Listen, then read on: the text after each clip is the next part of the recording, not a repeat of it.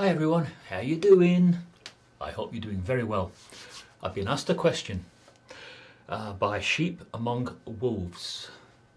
Uh, a new channel to me. I've not dropped in on this person before, but I asked a question on his site and I told him about uh, my attendance at the 1969 Melbourne Assembly where I met Nathan Knorr. Nathan Knorr was giving the Sunday closing address. Now I'm going to share that with you. Um, but on the first day of the assembly, something really comical occurred.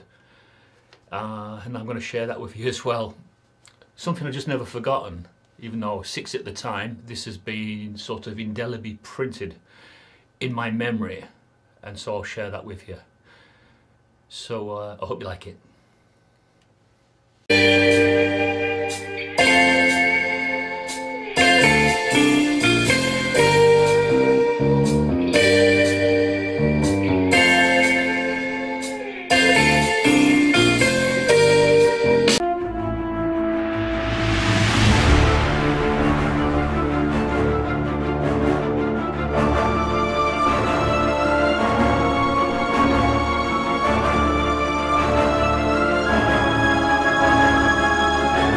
What else do I remember about 1969? Well, something else happened to a young six-year-old Jehovah's Witness little boy, besides nearly dying. We attended our first, well I attended my first, International Assembly in Melbourne. Now I know that we, at the time, our vehicle was uh, a VW Combi. So we set off from Sydney to get to the assembly. And it's a few hours drive, you know, ask any Aussie, they'll tell you it's a few hours drive to drive from Sydney to Melbourne.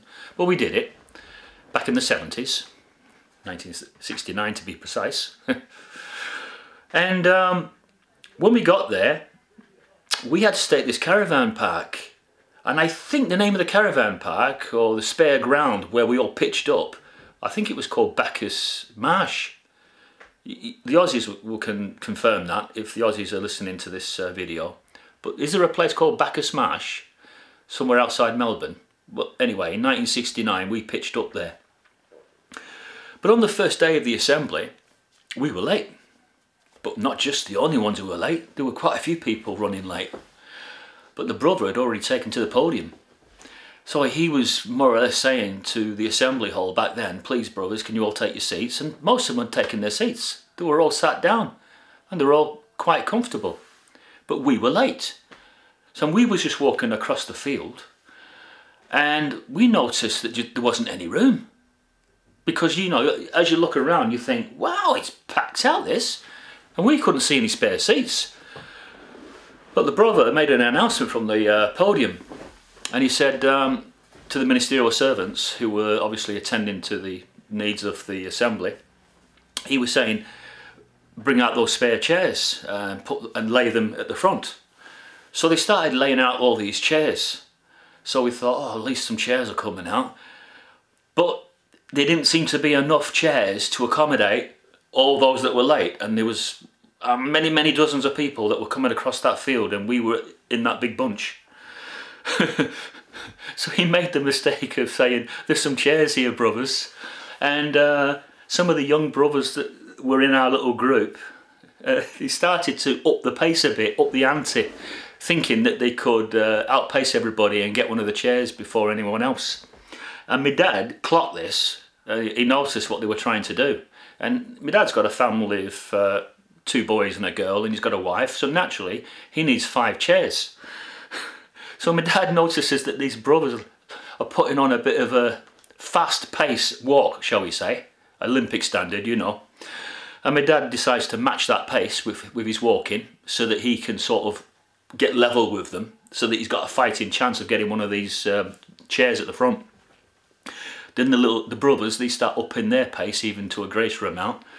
And I'm looking round as a six-year-old little Jehovah's Witness boy at this group like this, left and right, and I've noticed that everybody's starting to panic a bit, thinking they're not going to get a chair. So I'm seeing these like um, quite elderly sisters and they're starting to, you know, force the pace a bit so that they can get a chair and that made me laugh that because I'm just looking around like that and everybody's making this beeline for all these spare chairs. So I starts laughing. And then I noticed that my dad started running. He started running for these spare chairs. And then I, I remember shouting, Go on, Dad! Go on!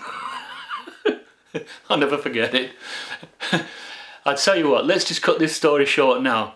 But let's just say that a six-year-old Jehovah's Witness little boy was never more proud of his father than that day. And when, I, when my dad got that row right at the front for all those five, I absolutely cheered as if he'd won the Blue Ribbon event.